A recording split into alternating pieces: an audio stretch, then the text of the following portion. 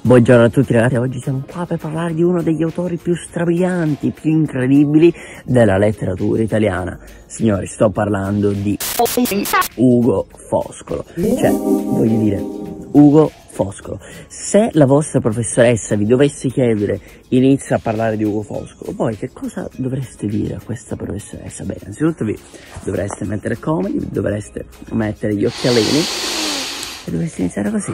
Nicolò Foscolo è già qua, boom. Cioè, perché lui non è che si chiama Ugo, lui si chiama Nicolò, Ugo sarà dato dopo 15 anni. Quindi, Nicolò Foscolo, di madre greca e padre veneto, nacque il 6 febbraio 1778 nell'isola di Zante o Zacinto. Già con questo incipit incredibile, straordinario, voi avete fatto sciogliere voi stesso, cioè voi già siete avanti. Però non è che finisce qua la storiella. All'età di 10 anni, poverino, gli muore il padre. Poi, cinque anni dopo, si trasferisce a Venezia con la Marce.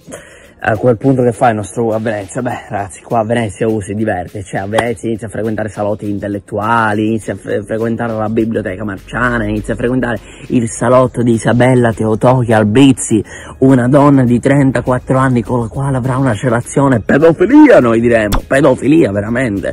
Però, vabbè, ragazzi, erano tempi diversi, non si può biasimare, è come se io mi mettessi con una di 105 anni, cioè cose da pazzi, però a tempi diversi.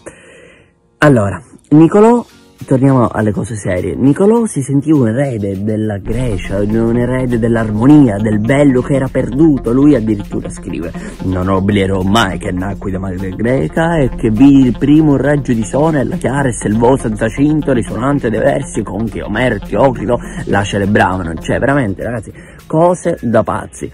Poi, cosa succede? Sono gli anni della rivoluzione francese, sono gli anni eh, dell'ascesa di Napoleone Bonaparte. Napoleone Bonaparte viene visto come un liberatore, viene visto come eroe, incarnatore di libertà, equalità, fraternità. Nel 1797 ragazzi Nicolò adora così tanto Napoleone che gli scrive un'ode, ode a Napoleone Bonaparte liberatore, si arruona nell'esercito giacobino a Bologna. Cose da pazzi. Ma nello stesso anno, nel 1797, mi metto così perché questa ve la dovete ricordare, Napoleone lo tradisce. Eh sì, lo tradisce, lo tradisce. Trattato di Campo Formio. Napoleone cede Venezia agli austriaci. Il mito di un eroe che crolla inesorabilmente. Ma allora che cosa succede? Inizia la stesura del suo, forse uno dei suoi più grandi capolavori, Le ultime lettere di Jacopo Ortis, che pubblicherà nel 1802. In quegli anni sarà anche impegnato nell'attività bellica, sarà impegnato a combattere nelle truppe di Napoleone Bonaparte. Nel 1803 invece pubblica Le odi e i sonetti. 1804-1806 viene richiamato nuovamente nell'esercito, viene chiamato a combattere sulla Manica e cosa succede? Napoleone sta per preparare un'invasione alla peggiore nemica di tutte, l'Inghilterra, ma l'invasione è un fallimento. Napoleone non farà un fico secco, non farà nulla. Nicolò perderà due anni della sua vita. Comunque, storie, dettagli, questi sono. Eh, 1806 ritorna a Venezia e comincia a frequentare il salotto di Isabella a Blitz, quindi ragazzi immaginiamoci. Nel 1808 gli viene offerta addirittura la cattedra di eloquenza a Pavia, cioè, quindi eh, voglio dire, il, la carriera qua sta andando proprio alle stelle, sta andando a gonfie vele. Tra il 1812 e il 1813 lui veramente in quei due anni trascorre, in quel biennio trascorre gli anni di maggiore serenità, tranquillità, pace interiore, li trascorrerà a Firenze e qua pubblicherà le grazie. Ma nello stesso anno ragazzi, questa segnatevela bene, mi metto gli occhiali perché sono serio, nel 1813 Napoleone viene sconfitto a Lipsia. Per Nicolò termina il periodo di pace, di tranquillità e di serenità interiore. Nel 1815 gli austriaci, i suoi nemici, gli offrono la direzione della biblioteca italiana. Cosa farà Nicolò? Cioè, secondo, secondo Viauc, Nicolò poteva mai accettare?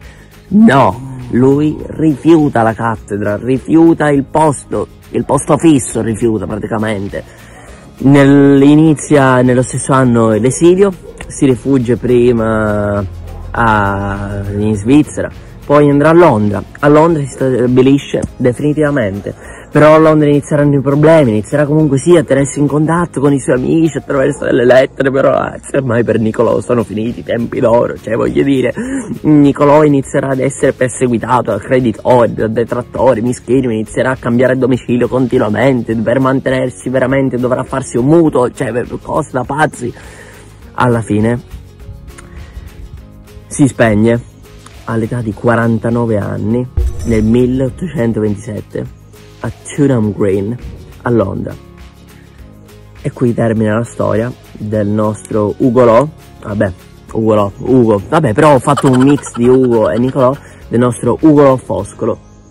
Questo è tutto, linea allo studio. Ciao.